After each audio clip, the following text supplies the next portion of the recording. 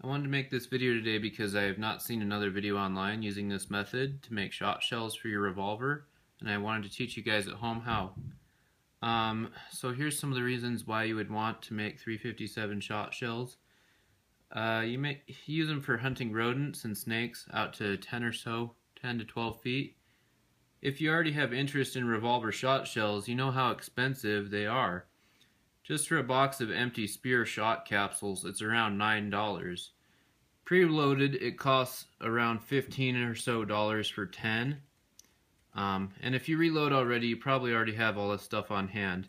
Roughly, these are costing about 10 cents each to load. So let's get started. So uh, first, you'd uh, size your 357 shot shell. Then I take my Lyman chamfer tool and make a nice sharp edge on it. And then cut some wads. You just take it right here with the hammer and just pound out some wads. I already, I already have some pounded out from earlier, right over here.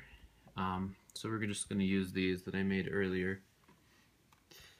I'm just cutting these out of poster board, out of an old box. You also need some powder, obviously, and uh, today I'll be using 800X. I'm sure other powders will work, including Unique and Universal.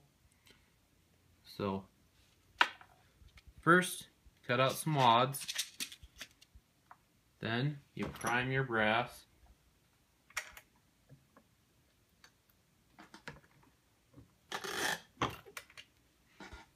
Next, we're going to measure out 5 grains of uh, 800X. Not, this is just load data that I've that I've made up on my own. There's no pressure signs or anything. It seems to work just fine. Probably it's even a little bit weak. But for my purposes, it seems to work, so...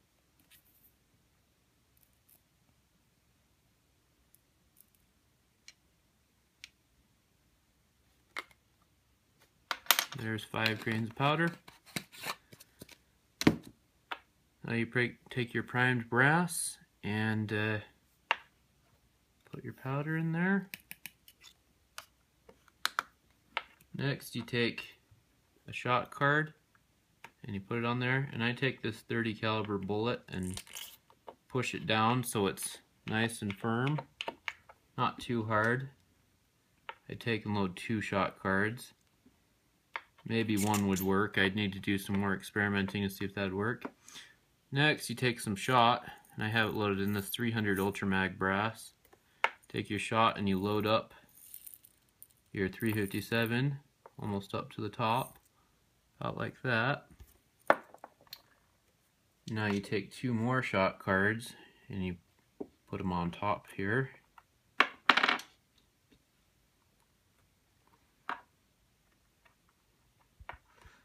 And now, I kind of go by feel when I do this.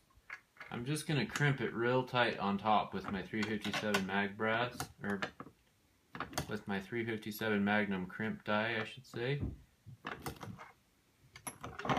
Now it looks like that. There's a completed round. Um,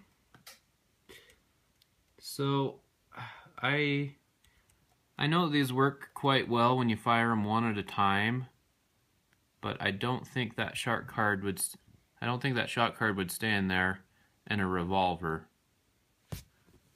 Okay, and that would be all.